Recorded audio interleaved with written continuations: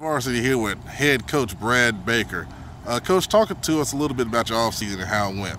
I think uh, our offseason was really went really well. Uh, you know, the, the loss, the playoff loss, and how it all went down uh, motivated us to, to, finish those reps in the weight room and run a little extra harder. And make it, we had some more guys out here that that were committed to, to taking the next step. So I think our offseason went really well. That's good. Now that playoff loss, man, we were really pulling for you guys, man. And uh, tell us what happened.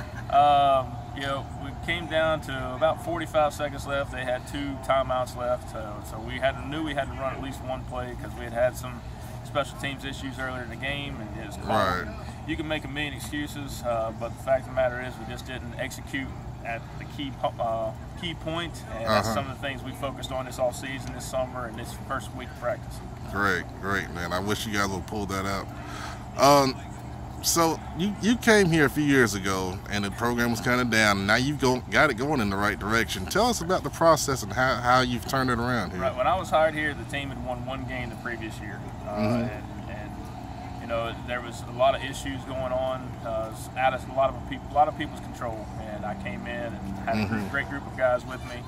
Uh, these kids were hungry to win. Uh, they bought into some of the things we put them through, and they bought into the process, and they understand it's a grind uh, and they understand that there's steps we got to take. And uh, last year we turned the corner, um, yep. and some of the things we've been preaching to them came through and happened for them. We had a winning season, first time in ten years, and oh wow, and um, went to the playoffs for the first time in seven. So, yeah. you know, the, and now they've tasted that, and now it's motivated them even more. And you know, we just bought into a way the way we do things, and kids have bought in, coaches have bought in. It's it's a whole process that everybody believes in. Exactly. And um, I said in our video talking about you guys, the one thing I, that I love is you, you guys are, are physical. It's physical football. You, you hit people in the mouth and you take no names. How, how did you instill that kind of mentality? Uh, I mean, that's just, I, I was an assistant coach at Reidsville High School. Uh, mm-hmm. It's had a ton of success, and I've been an assistant coach at Mooresville High School where they've had a ton of success. And yeah. I've just kind of copied what what those guys did, Jimmy Teague and Hal Capps. And I've worked for two two of the greatest in the state in my mind and followed what they did. And I, I saw it work because yeah. I was a part of it. Uh, yeah. And I convinced these kids that no one's going to outwork us. Uh, co- convinced our coaches no one's going to outwork us, and that's a, that's you know we bring our lunch pail to work every day, and that's the way the way we approach things. That's awesome. We're man. not pretty, but we get the job done. exactly.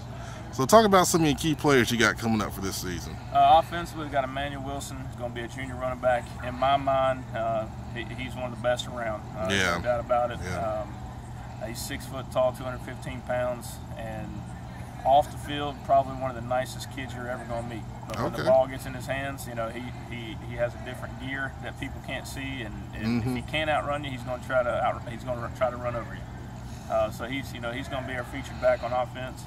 We have uh, four receivers returning. With okay. Our two inside guys are, are both 6'4 plus, and that's Trey Turner and Yancey Harrison. Uh, okay. Two guys that are lean and can move and tall targets. Then on the outside, we got KJ Buford uh, is going to return as a starter. He's going to move into our Z role, uh, Z receiver role, and mm-hmm. Nairi Hardy, who's our speedster. We're going to get the ball in his hands a lot of different ways. Okay. And then our trigger man is Jalen Anderson. You know, mm-hmm. he's got a little bit of experience, and our offense is going to have a little bit different look. He's not quite uh, as mobile as Kendall Coles was, yeah. um, but he does have a cannon. We feel good about where we are. As the offensive line can uh, gel together, I think we'll, we'll be pretty good there. And great, defensively, great. We got Calvin McCullum coming back, kind of our uh, the heart and soul of our team. You know, he's he's a character and he gets after it. And, uh-huh. um, but you know, our defense feeds off what he does.